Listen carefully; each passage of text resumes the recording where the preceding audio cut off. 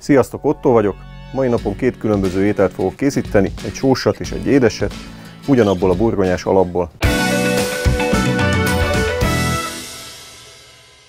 Az előre megfőzött fél kilogramm burgonyát nagy lyukú reszelőn lereszelek.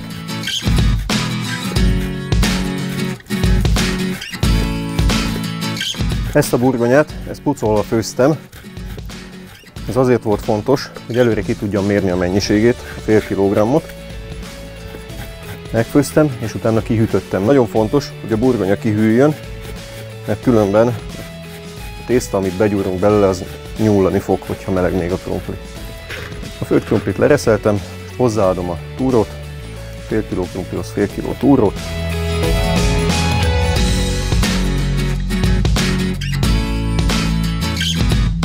hozzáadom a burgonyás túróhoz, vagy a túrós burgonyához a lisztet. És végül az egy tojást, és egy pár csipet sót. Nem túlzom el benne a sót, mert mint korábban is mondtam, egy sós és egy édes ételt is fogok belőle készíteni.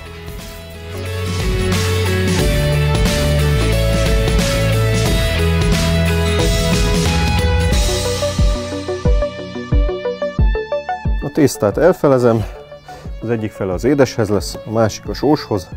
Kinyújtom a tésztát, megpróbálom egyenlő vastagságúra. Ez azért kell, hogy egyforma golyókat tudjak belőle majd készíteni. És elkezdem felszelni. Próbálok egyszerre többet is elvágni.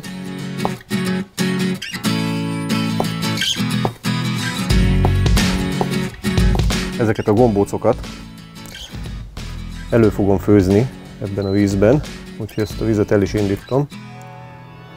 Forjon fel minél hamarabb, de gyorsan elkészíthető étel. Serpenyővel, vagyis most a vokban, itt a hátam mögött, majd a, a tűzön meg fogom pirítani a kifőtt tésztát, és a gombákat, hagymát, az egyéb összetevőket majd egy tejszínnel felengedve és fehérborral ízesítve egy nagyon finom ételt fogunk belőle kapni.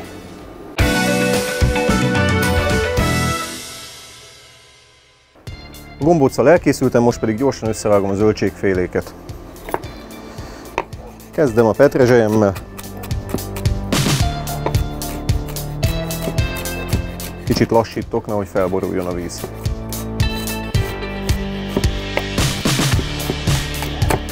Most pedig a két gombát fogom összevágni hozzá, két gombafélét.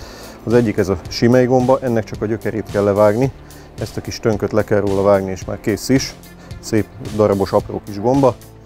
A másik pedig a fehér laskagomba lesz. Én nagyon szeretem a laskagombát. Ezt csak így csikokra feldarabolom. Hogyha erősebb, keményebb a szára, akkor azt nem érdemes belerakni. Két geresz fokhagymát apróra darabolok, nem kell összenyomni, csak így szép apróra összedarabolom. Most pedig a gombócaimat belerakom a vízbe főni, miközben főnek elkezdem melegíteni a vokkot.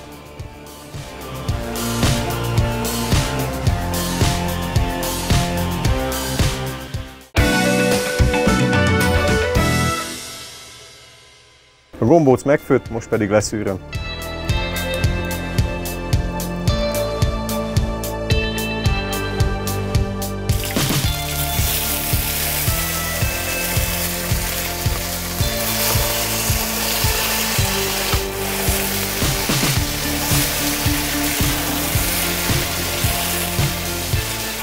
Gombóc kellőképpen megpirult, nagyon szép kis barna kérgelet, most pedig hozzáadom a gombát és a hagymát.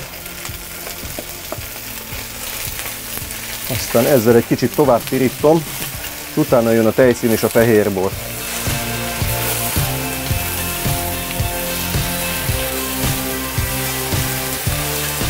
Megpirult a gomba is kellőképpen, most pedig beleöntöm a tejszínt,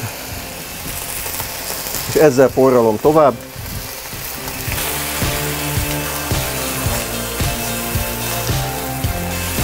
Hozzáadok egy kis fehérbort. És az utolsó összetevőt, a reszelt sajtot. Ez a sajt most egy Grande Padano, de lehet hozzáadni trapistát is természetesen. Ezt még összeforralom, és el is készültem vele. A tejszínes gombás burgonya gombóccal elkészültem, most következik a tálalás.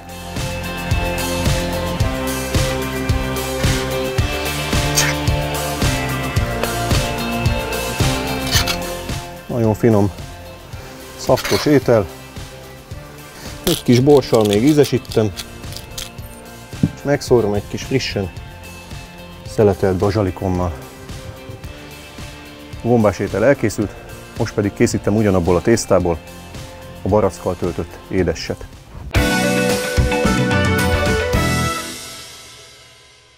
Most pedig elkezdem elkészíteni az édes verziót ebből a tésztából. Barackot fogok hozzá felhasználni, kis cukrot, pankomorzsát, amit vajon megpirítok. El is kezdem. A vajat felolvasztom. A vaj felolvadt, hozzáadom a pankómorzsát, a pankómorzsát szép aranybarnára fogom pirítani.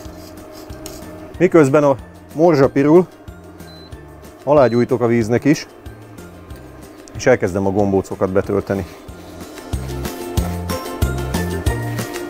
Ez a maradék tészta, fele a előző mennyiségnek,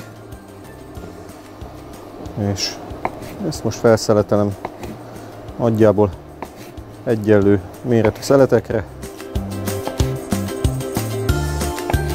Ezeket a szeleteket egy kicsit megszórom rétes liszttel. Egy kicsit ki kell nyújtani a tésztát, hogy beleférjen a barack. Most pedig mindegyik tészta közepébe teszek egy barackot. Egy egész kevés kristálycukrot.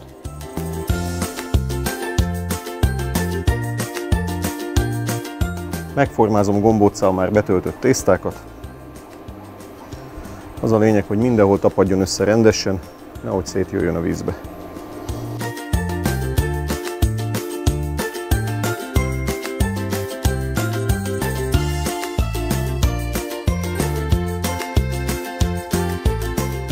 A morzsa egy kis segítséggel megpirult, most pedig adok hozzá egy kis cukrot,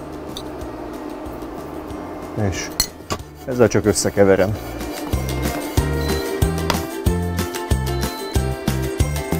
Időközben eljutottam az utolsó gombócig,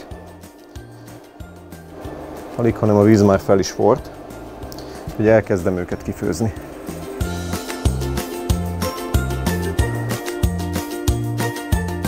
Miközben a gombóc fő, készítek hozzá egy vaníliás tejfölt.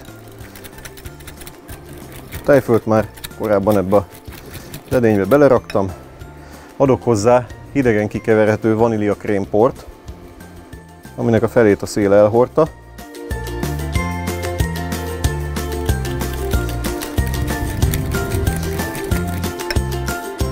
Egy tejet is, és egy zacskó vaníliás cukrot. Vanília krémpor hétköznapi nevén a főzés nélküli pudingpor. Ezzel sűrítettem be a tejfölt és a tejet, és valójában ezzel is ízesítettem.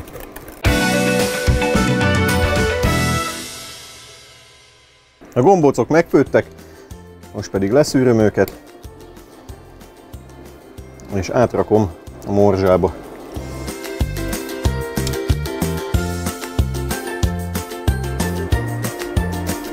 Szép nagyok lettek, de ugye a fél barack behatárolta a méretét. Lehet kisebbeket is csinálni, csak akkor negyedbe kell vágni a barackokat. Most pedig elkezdem tálalni.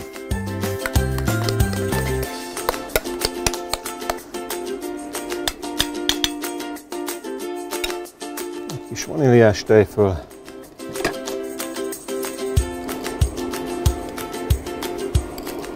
Két gombóc, fél barack, díszítésnek a kertből egy kis ribizli,